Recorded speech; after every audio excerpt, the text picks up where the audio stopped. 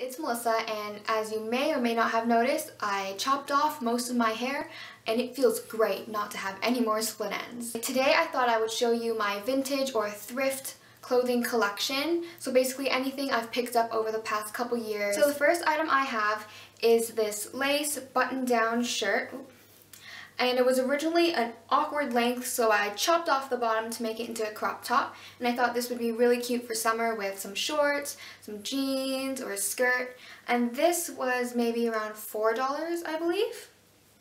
Okay. And next I have this grandma sweater. It's just this knit sweater, pretty long.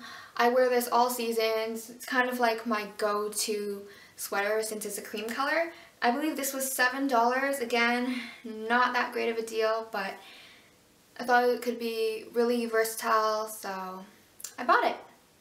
And the next item I have is probably one of my favorite finds, and it's this light wash denim jacket and it's supposed to being like a structure jacket. This is fairly thin so you can really layer pieces underneath it.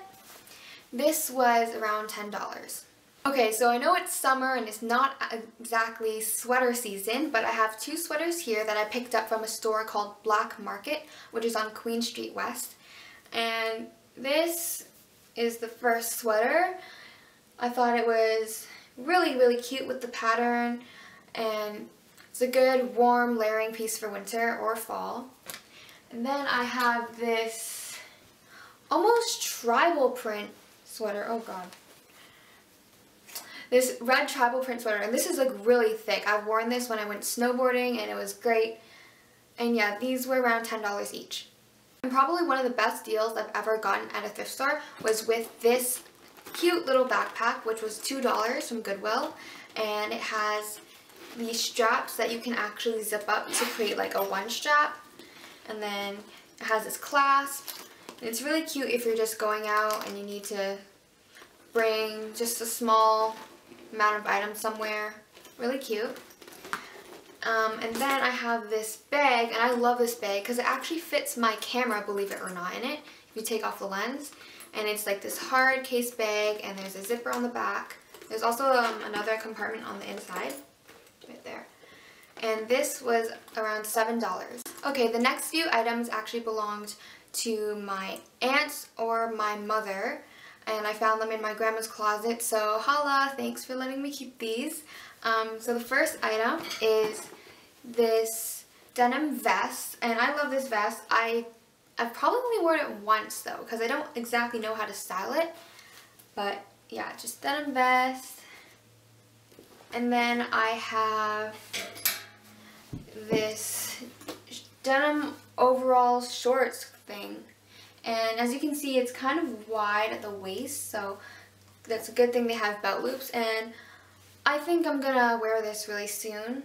I recently found it in my closet, and I was like, oh, I need to wear this. So yeah, I rolled up the bottoms, the, um, the legs, because it was a really awkward length. Yeah. And then for my mom's closet, I have this little sweater, and it has holes in it, really cute. Um, and it has this scallop detail at the bottom. And I've been wearing this recently just as a cover up. And I like the nude color. And this was originally from Fairweather, I think she said. And that's all the stuff from my vintage thrift collection. If you want to see how I styled some of the pieces, please keep on watching. And you can find additional outfit information in the down bar below.